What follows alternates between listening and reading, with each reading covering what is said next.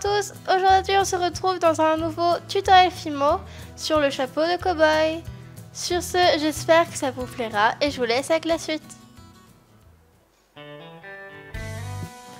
Pour les couleurs de pâte, il vous faudra du caramel numéro 7,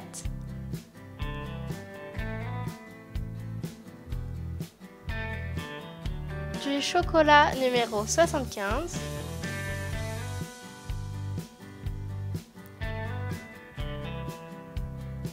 Et pour finir, un mélange d'ocre et de blanc.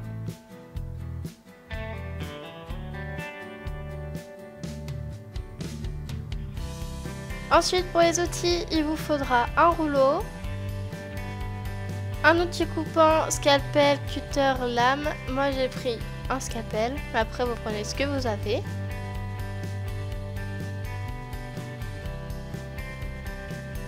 Et un dotting tool.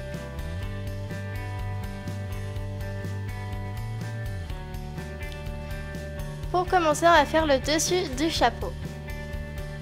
Pour cela, je prends euh, une boule de pâte caramel que je vais allonger très légèrement.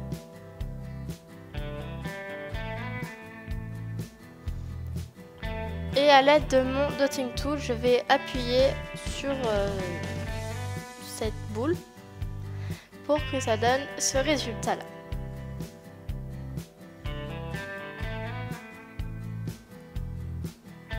Ensuite, pensez une extrémité de votre chapeau.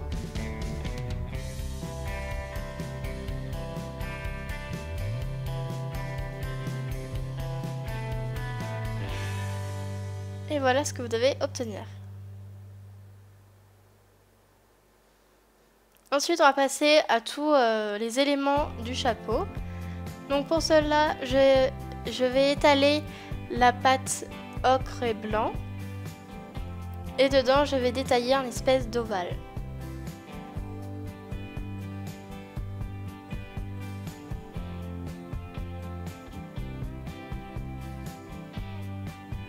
Ensuite, je vais appuyer dessus pour adoucir les bords.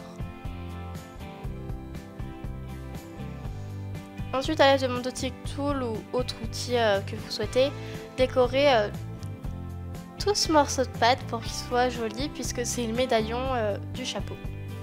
Enfin si on appelle ça le médaillon, moi j'appelle ça le médaillon, mais appelez ça comme vous voulez. Donc voilà ce que ça donne, puis collez-le sur le chapeau.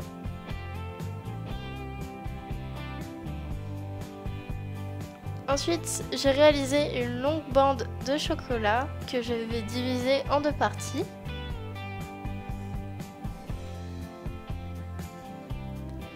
Et que je vais coller euh, euh, de part et d'autre du chapeau.